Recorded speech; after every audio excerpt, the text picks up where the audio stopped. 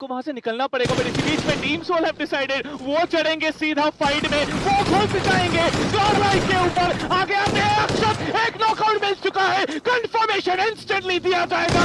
Jonathan on the other side Akshat on the other ये one versus one and touch रहेगा। But Godlike is cleaned up by team Soul उन्होंने decide किया कि fight लेंगे fight लिया। God like को इस पोजीशन से निकाला है बट उनको भी जोन के मरने की बहुत ज़्यादा